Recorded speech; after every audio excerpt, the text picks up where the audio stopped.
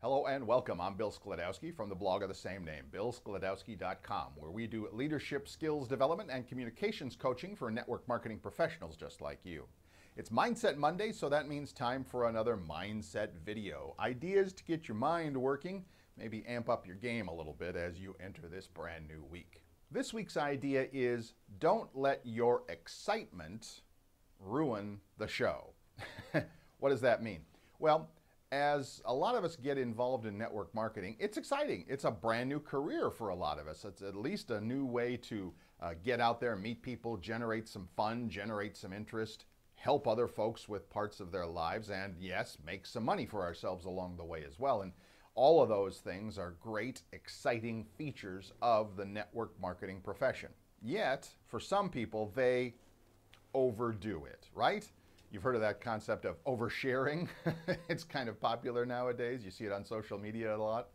Well, with uh, network marketing, there's the possibility for oversharing and overexcitement. And some of the authors, some of the network marketing gurus also call that the verbal vomit. I'm not a big fan of that. But you know, it's like when you're just dumping on people, it's like, oh my God, oh my God, this is the greatest thing. You got to try it. You got to see it. You got to join the. Stop. Stop it with that. It's, it's just, you know, it puts people off, right? I'm sure you know that, but I don't need to tell you that. So what do you do? Well, in the words of uh, one of the big time authors and gurus in this space, Eric Worre, he says, and I love this the truth is enough. Let that sink in just a little bit. The truth is enough. What you're doing has meaning, it has purpose, and it helps people in some way or another. No matter what your product is, no matter what your service is, the whole idea behind being in business is, after all, to help people, right? I mean, no matter whether you run a, a, a legal office or an airline, you're helping people do something that they want to do, whether it's fly cross country or, you know, take care of some legal matter. I don't want to get into that. But what I mean is, the truth of what you are doing with your business is more than enough.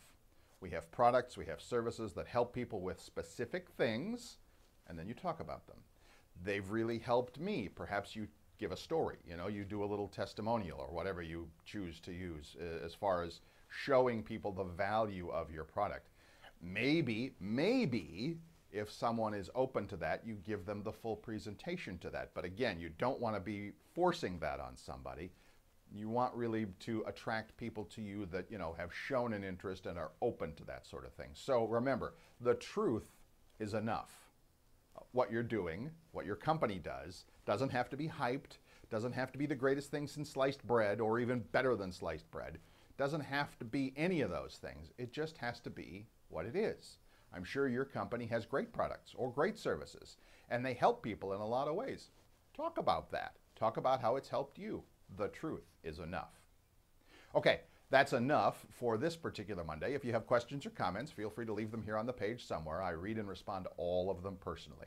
If you're uh, on the blog, please remember that you can sign up for our newsletter list so that you are kept up to date with all the latest videos as they come out.